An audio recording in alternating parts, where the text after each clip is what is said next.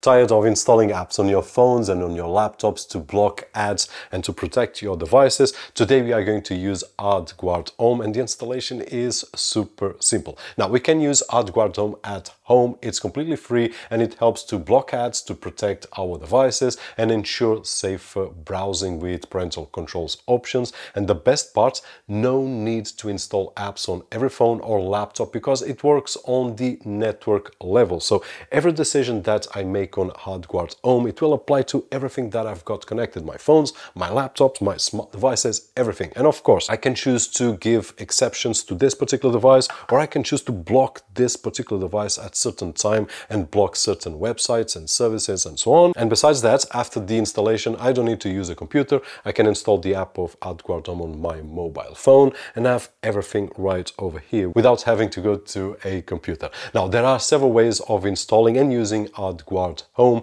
Today we are going to talk about OpenWRT and we are going to see how easy it is to install AdGuard Home on any device with OpenWRT, which is a software that is common on any router that we can find on the market. So if it's your case, if you have any device like the NanoPi or any other device with OpenWRT, we are going to install really quickly and easy. And if you are watching this video on your Windows 10 or 11 computer and you still haven't activated and can't even edit your desktop icons.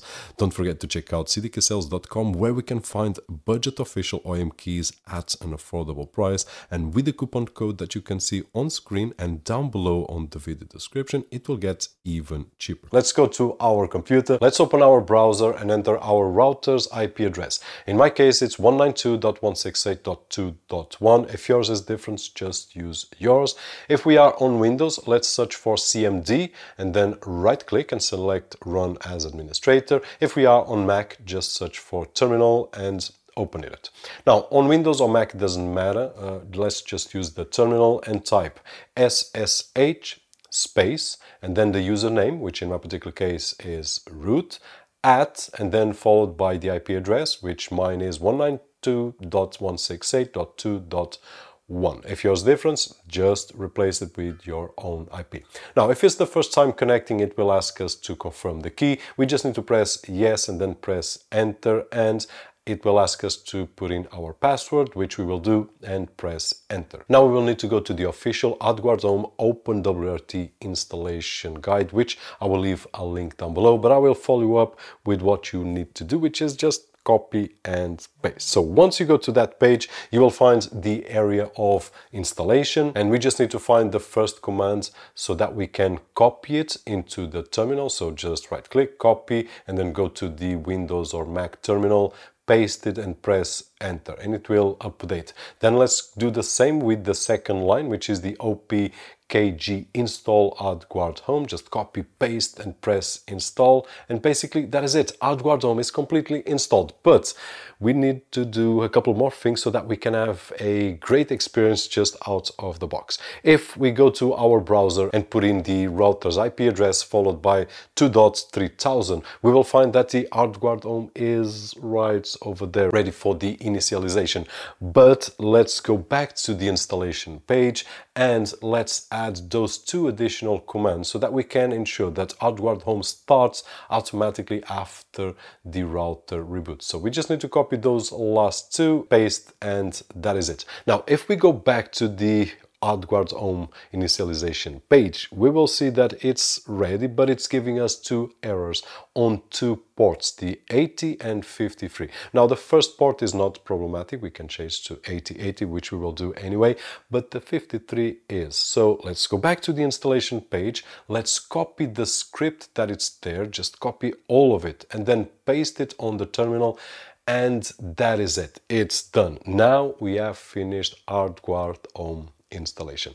Now let's go to the page which is our IP address followed by two dots and 3000 and let's go to the configuration. The first port we will select 8080 and the second port we just leave it as 53 so everything will work great. We just need to select our username and password and click next, next, and we are done. We can now log in with the IP address followed by the port that we just chosen, which was 8080, and that is it. And if we want to check out if everything is working, just open any browser on any device connected to our network, refresh the web page, and that is it. We will see if we are blocking the requests appearing on AdGuard Home or not. If not, then bad news, we did something wrong, we will need to go back. If yes, then just have fun, enjoy it, and then you can apply the features that it has. We can enable or disable parental controls, uh, we can have the safer browsing option with enhanced security. There's the option to identify devices or clients by name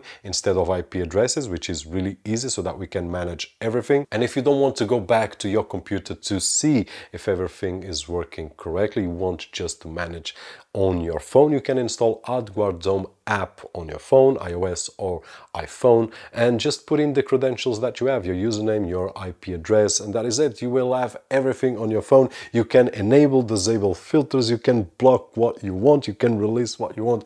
It is really awesome. Regardless of using AdGuard on OpenWRT or any other platform like OPNsense or Docker, whatever we want, the interface will be the same, the usage will be the same. I just found that OpenWRT is something very common to find on devices such as this and even on routers which don't have the same capabilities in terms of hardware that this one has. And if you want to install AdGuard on that particular device, then this is, in my opinion, the easiest way.